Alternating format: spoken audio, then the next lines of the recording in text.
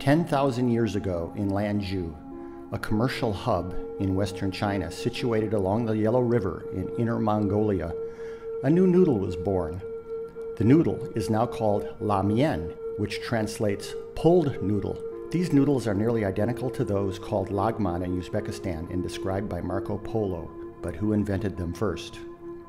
Shaped something like fat spaghetti, but more individual and irregular, La Mian represented a technical innovation over previous types of noodles. The dough contains flour, egg, oil, and water, and the finished noodle is supple, rich tasting, and firm to the tooth. The noodles must be freshly made just before boiling and serving in soups and stir fries.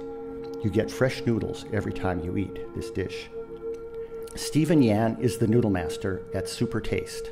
He was the first to introduce Lanzhou hand pulled noodles to New York City in 2005. Yan was born and raised in Changle on the southeast coast of China. He emigrated to the States in 1992 at the age of 20, but before he did, Yan went to Lanzhou in western China to learn the art of noodle making. The apprenticeship was one month, but it took him an entire year to fully master the skills. Here we see Steven Yan's two daughters enjoying bowls of freshly made hand pulled noodles. The older daughter, Vivian Shi, is eating a bowl in the style of Lanzhou, where they eat the noodles in a fiery broth with chunks of beef.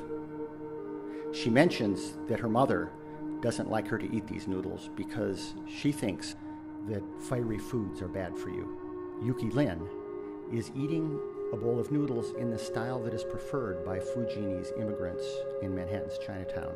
That is, with pork bones filled with marrow in a fairly mild broth with greens.